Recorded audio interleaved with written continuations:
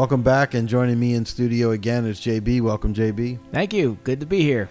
I'm glad you're here, man. We have lots to talk about. With our last episode, we came into so many things that we could uh, discuss here, and, uh, and we started talking about end times and what that means. And what I want to do is dial back a little bit and talk about uh, certain things, or what you know, in my podcast in in the beginnings, I'm staying in the Old Testament, and um, that is painting the picture for uh, Revelation and tying it to uh, the prophecy from the Old Testament that into the New Testament. So, what I'd like to do with you is go back to the book of Daniel, which is a very powerful book, and start looking at how the picture was being painted thousands of years before we see what's going on now. What do you think? All right, sounds good.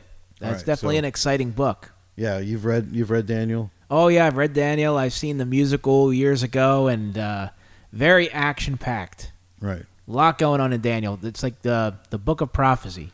Right. Yeah, that's good. And like I said, you know, my, my stuff in, in in school when I was getting my PhD was was based a lot on Daniel and Revelation. So uh, I know a lot of people have questions, and we've been jumping around uh, with no uh, with no really uh, problems with, with how we talk about it. but I, I think we should start to, to line this up for everyone.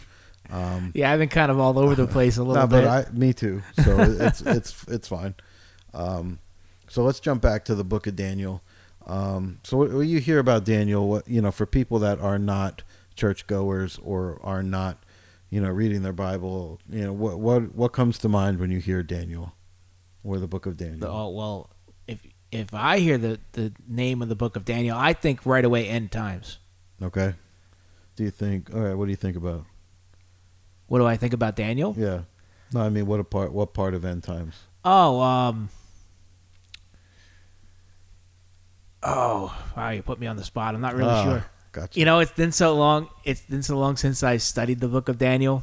yeah. Uh, but I do remember the story of Daniel. I remember how um, uh, a lot of the the um, the oppression that he went through when he was basically in captivity right. uh, from the uh, uh, the From the captors. Nebuchadnezzar. That's what you're looking for. no, but I was Oh. the Persians, right? Yeah, yes. Wasn't it? Weren't they under Persian uh, captivity? They were Well- enslaved by the Persians. Well, what happens is, uh, we're, well, let's give you a timeline. So we're looking at 540, uh, 530, five, between 530, 540 BC. So we're way back there, right? I'm So- laughing about Captain Captain Captain from the, the Captain. Well, that's who got him. Good so, save.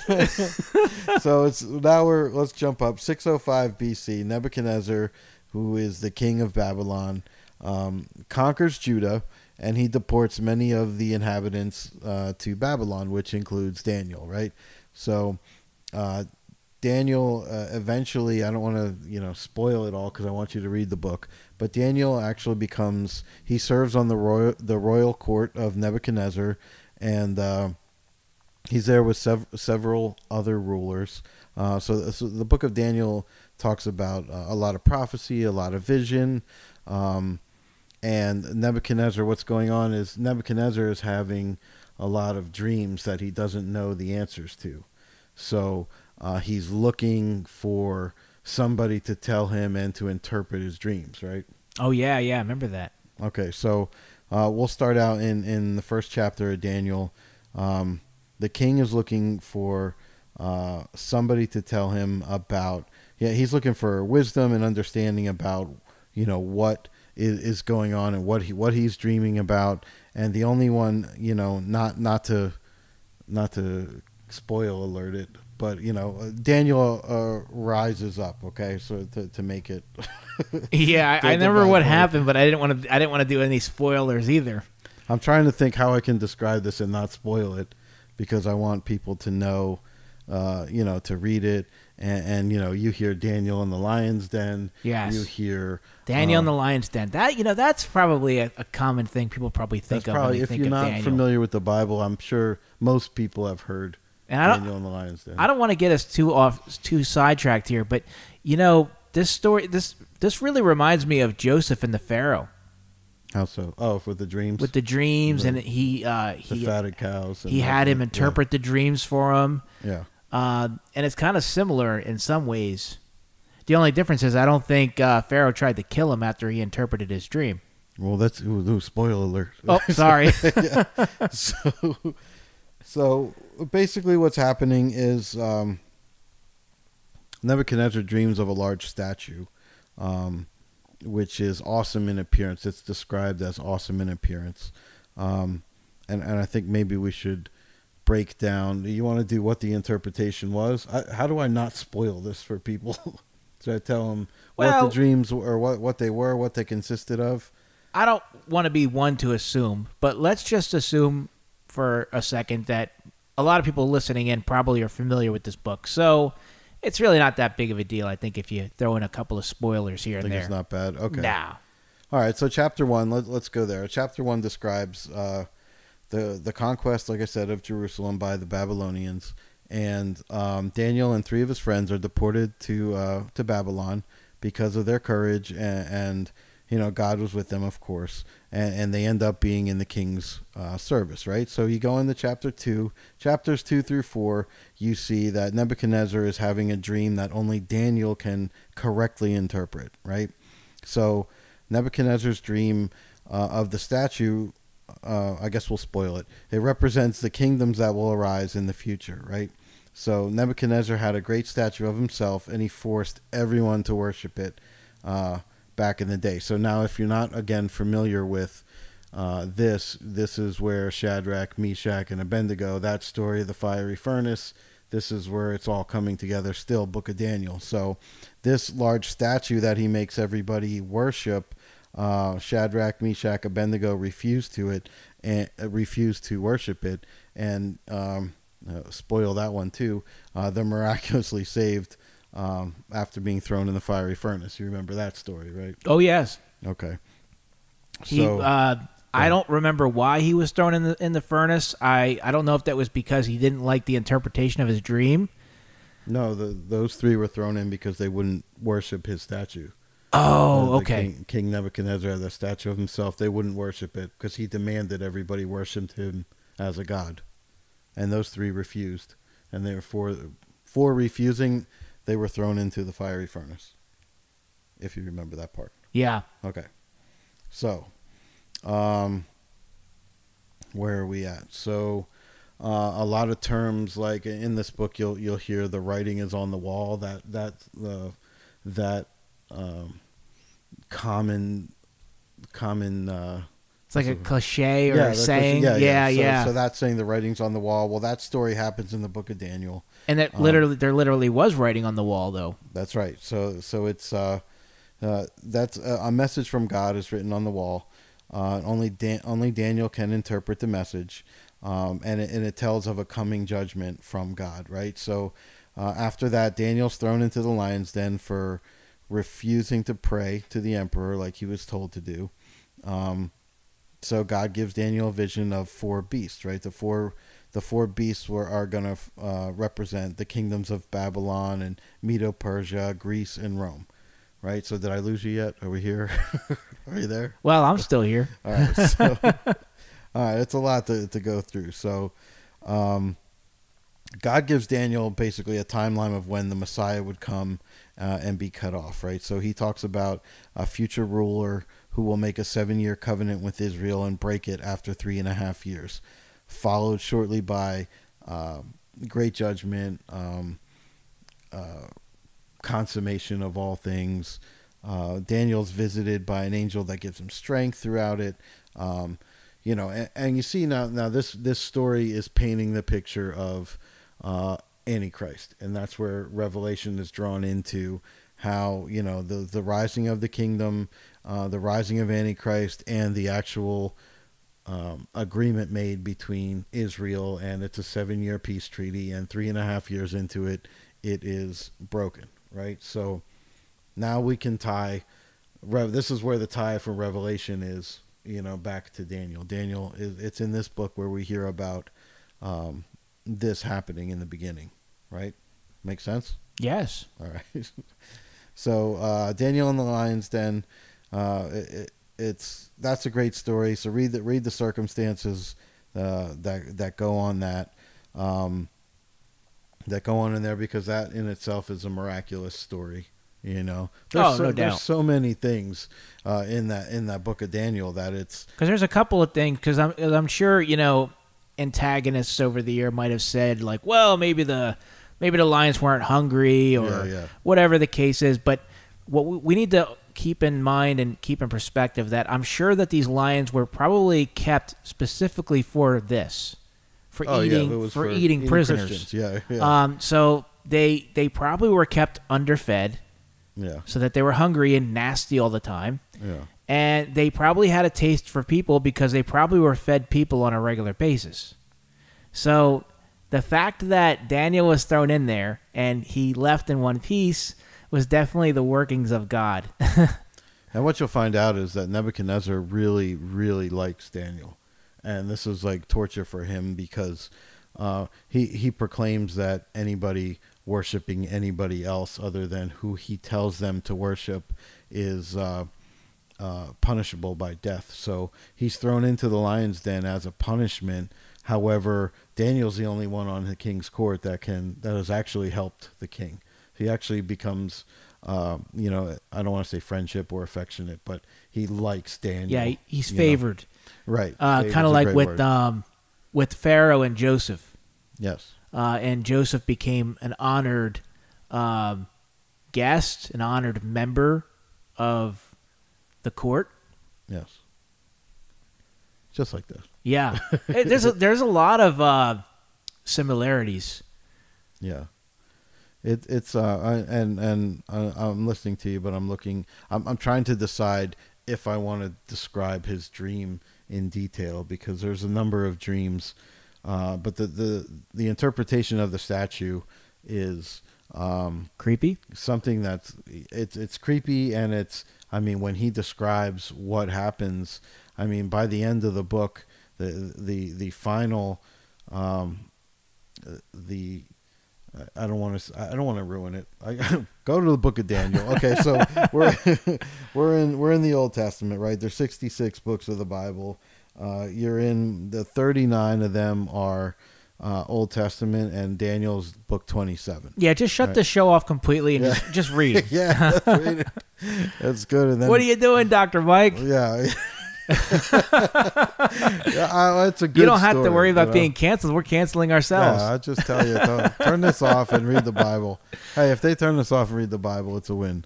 Sure. You- you yeah. know, so- but but you know what? Yeah, don't you know? Don't worry about the spoilers because I think that a lot of people that are tuning in probably are familiar with the Bible, and you're right. You're right. we're just giving our perspective on it. And uh, I think yeah, if you have to jump around a little bit, that's all right. Yeah, I think it'll be okay. All right, so there's the, the dream of the statue, right? so, um, uh, statue is very bright. It's uh, you know, and this is Daniel's interpretation. He said, "You had a vision," and now none of his quote unquote, uh, you know, uh, wise people or their uh, the magicians or the the fortune tellers. None of them can tell him what this means, right? Except Daniel now is telling him that you saw a large statue. The statue's it's bright. It stood in front of you. It's terrifying. Uh, the head of the statue was made of gold. The chest and the arms were made of silver. Its stomach and its hips were made of bronze, and its legs were made of iron. Right. The feet were made of of iron and partly of clay. Um, so as he's watching uh, and as he's dreaming, um, a stone was cut out and, and it struck. It, it strikes the the uh, the statue's iron and clay feet and smashes them. Then all at once, the iron, clay, bronze, silver, and gold are all smashed. Right, so they come crashing to the floor. The wind carries them away, and uh, that's his dream. And it's uh, terrifying to him. He doesn't know what it means.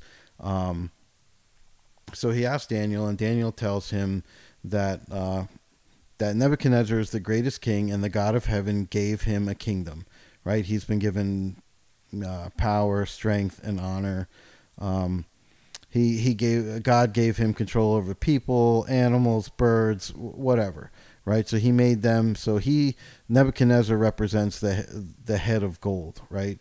So uh, another kingdom inferior to, to Nebuchadnezzar's will rise to power after you, and then there'll be a third kingdom, a kingdom of bronze that will rule the whole world, and then there'll be a fourth kingdom, right? The fourth kingdom will be strong as iron, and as iron crushes everything, the fourth kingdom will will will crush all other kingdoms, right? So he saw the feet and the toes; they were partly clay and partly iron. That means that the divided kingdom that was uh, that there's a divided kingdom that some of, that had some of the firmness of iron, but some of that iron was mixed with clay, right? So some of that kingdom will be strong and some of it will be brittle. Um, so part of the kingdom will will will mix with intermarrying and stuff like that, but um, the iron, the iron itself uh, from the legs not not mixed. Hmm, interesting. Right. So, are, are we there? Yeah, I still got you. Yeah. All right. So, um, God, the God of heaven, establishes a kingdom that will never be destroyed. Right. So, we're we're talking about uh, the stone that that hits the statue, um, smashes the iron, the bronze, the clay, the silver, the gold. Uh, that is God telling Nebuchadnezzar what's going to happen in the future. He's saying that um, that not only is his kingdom going to end, but it describes the kingdoms that follow after him, right? So uh, Nebuchadnezzar, after hearing all this, he bows down in front of Daniel. He orders gifts and makes sure Daniel's taken care of. Um, he knows that he's revealing a secret that nobody else uh, could. You know, you know what I mean? So uh, after that, and this ties Shadrach, Meshach, and Abednego, um, you know, because because now Daniel has told them the interpretation uh, Daniel appoints those three to govern the prince of you know the uh, the province of Babylon. So they've gone from uh, being uh, the executive order given to to kill them to now they're in charge of Babylon. That's a great story. Uh, that that's I guess that's literally the definition of zero to hero. Zero to hero, right? so, I mean, and that was a very fast, fast interpretation of the dream. Um, the writing on the wall, uh, you you need to dive into that book yourself and read it. It's very, very interesting. Everything that happens uh, in the book of Daniel is is very, very interesting and captivating. And the the greatest part is that we're now getting uh, a, a, broad stroke of uh, what's what's being prophesied to happen at the end of the times, right? So yeah, and what I would like more information on, I'm not, I don't remember if they if they get into it in this book, but what are those other kingdoms? Oh, it does get into that. Does it? Okay. Yeah, we'll get into that. Right. So I know it um, it does mention Nebuchadnezzar's kingdom, right? Right. So he was the, the gold the gold head, the statue. So like the, the iron, the iron was the Roman Empire, which came after them. The iron was was the, depicted as you know super strong, and the Roman Empire was a super strong empire. Oh yeah. Um, they were mean, vicious, powerful, and uh, yeah, yeah.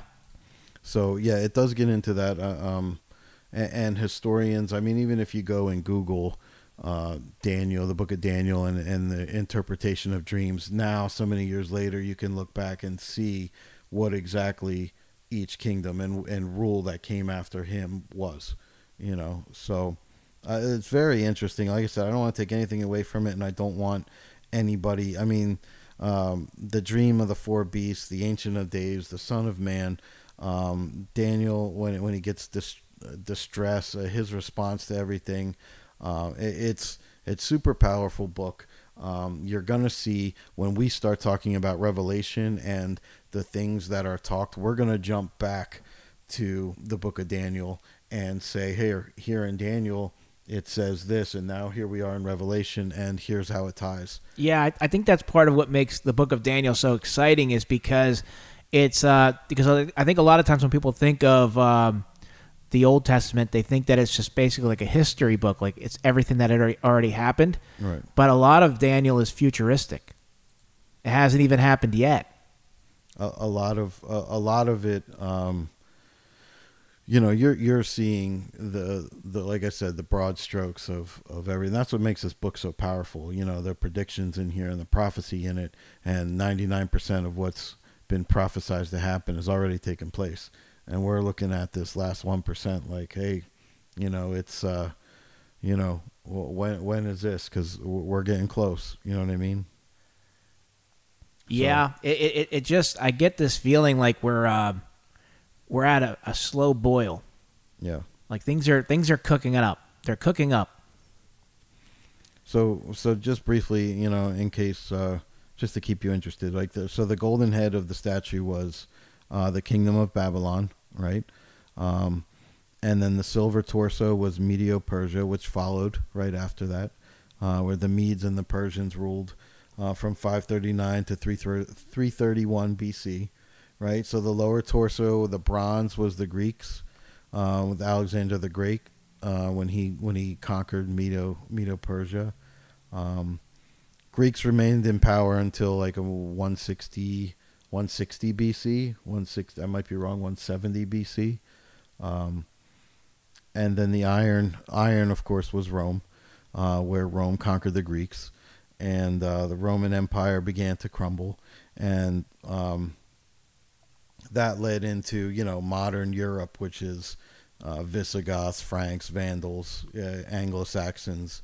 Uh, I, I don't want to take too much into it, but but uh, nobody nobody's sleeping yet, are they? yeah, oh, sorry about that. Yeah, yeah. Um, but Daniel two twenty four says uh, uh, a, a lot about you know the stone that that cuts into um, Nebuchadnezzar. See, Nebuchadnezzar at the time is the king of the world, right? Right. And, and he's the you know represented as the golden head on the statue, and uh, you know uh, unbearable or uh, you, you think you're invincible, you know, especially when you're the king. And uh, this this this had to be a haunting dream where he's not only told of his his end of rule, but you know of all the the other kingdoms after him, where he's just going to slowly melt away. You know what I mean? So right, like he's uh, not even going to be a thought in anyone's yeah, mind. You know what I mean? So here he is thinking he's almighty and powerful, and that he's going to rule forever. Right, and that his his legacy will live on through his descendants and right. No, your kingdom's going to end. Yeah, uh, wipe your line out. You know.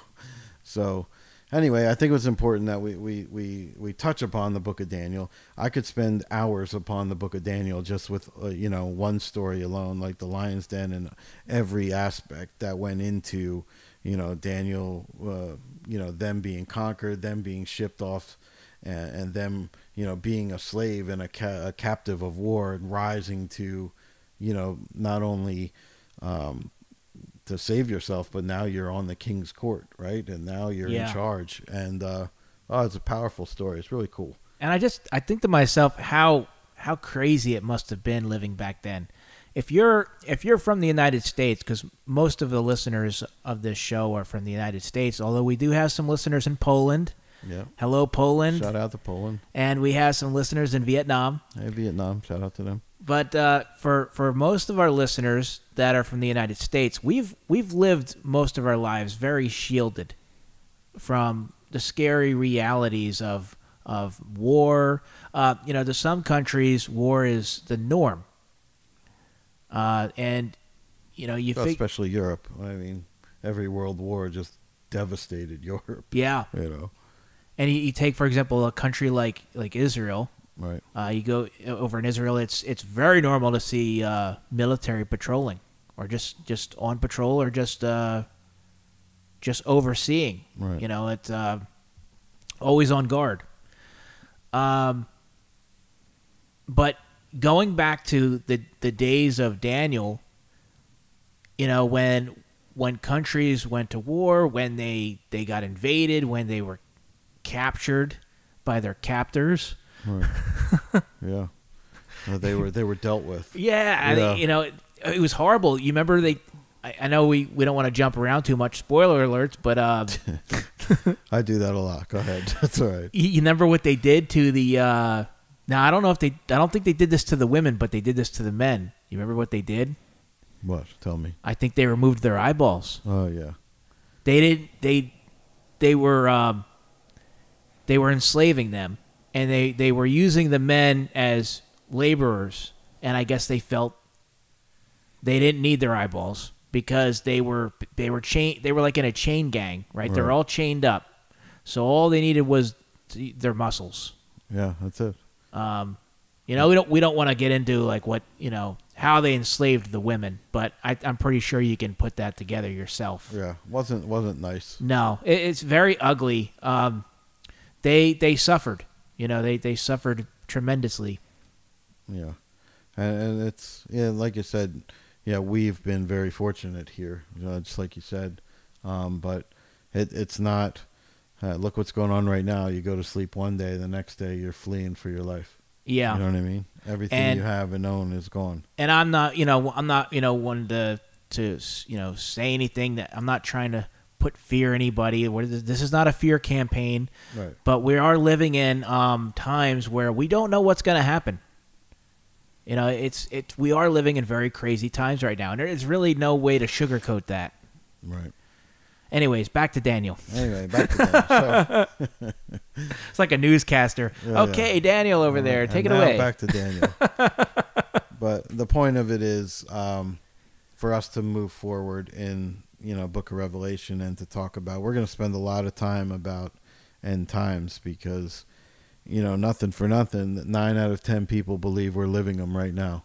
So uh, of course there's speculation and you know you, you hear um, everyone's uh, objective uh, you know what what they think is is is right and how they interpret it and that's what makes this great is we can openly discuss it and and figure it out but uh, are we living in the last days Well, I mean, it, it's it seems so. I mean, you know, as far as like, because we in one of the previous shows we talked about the book of Timothy, and uh, I think it was actually. Wait a sec, is that? Uh, What? that's I think it was the last the last show we talked about the book of Timothy and uh, looking around and oh yeah yeah uh, what's going on Yeah, as yeah. far as like disobedience and uh, oh yeah yeah that that scripture we read yeah um, lovers of money right and while children going crazy Yes, Yeah. and, and while while that's actually been going on for the last twenty years, because I, I remember I remember going to church as a, a late teen, and when I read that scripture, I was like, yeah, that seems like it's going on now. But oh, 20 years later, it's just that much worse. The disrespect of of kids towards their parents, um, it's really just vile. It's getting to the point where it's just disgusting and vile now. You know, I I, I know disgusting and vile are kind of synonyms, but vile is definitely way worse sounding than disgusting. yeah And it is. It is. It is vile.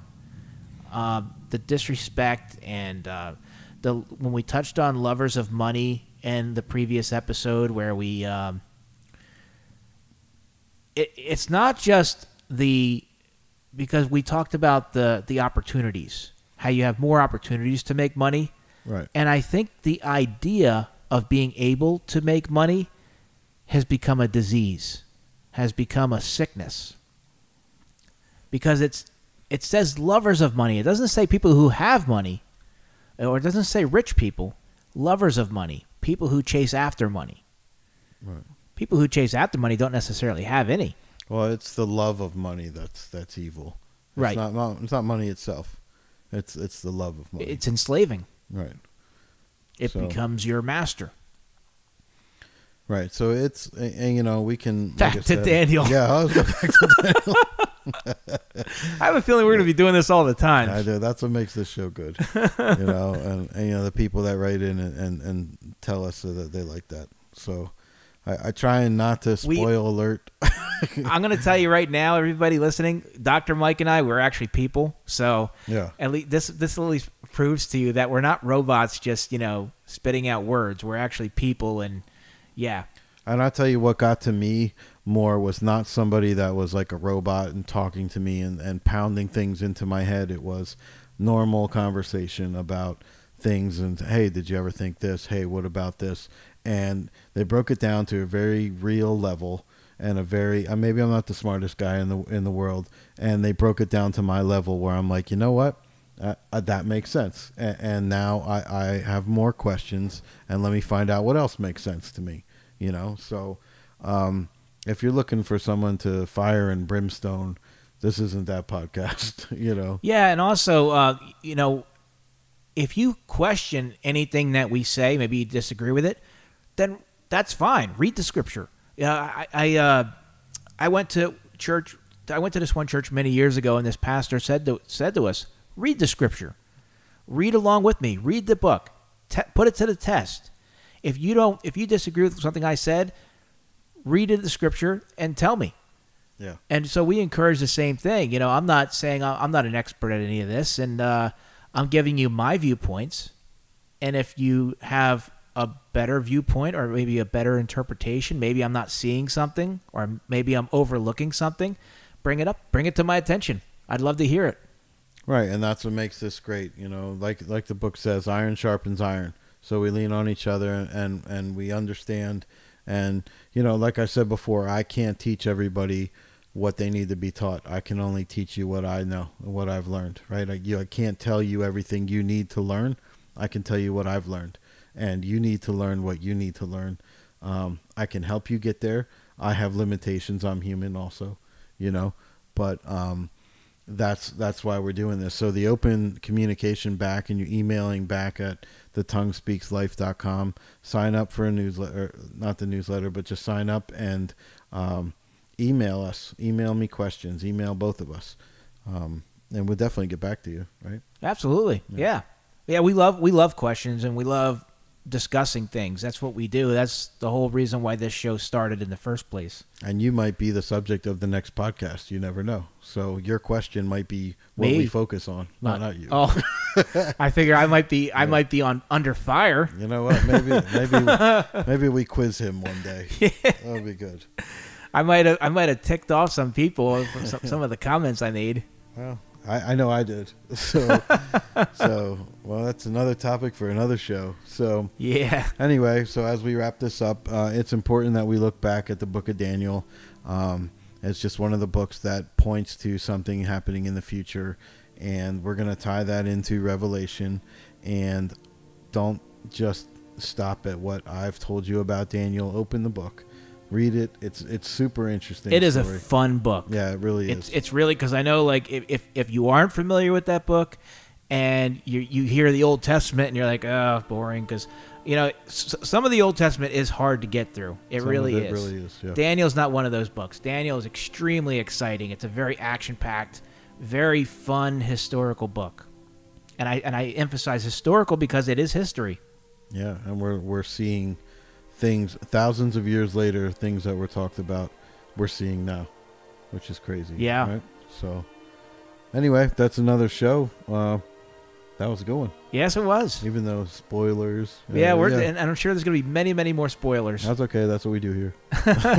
so, until next time. Come to us and we'll spoil it for you. Yeah, yeah. Ask us a question. I'll tell you the answer. Yeah. So, as any movie you want to see, ask me. I'll tell you what happens yeah, at the we'll end. tell you the ending. We'll save you a lot of money, two hours. we'll save two hours of your day. time and money. Yeah. so until next time, JB, thanks for coming. As Absolutely. Always. All right, man. We'll see you next time. Take it easy.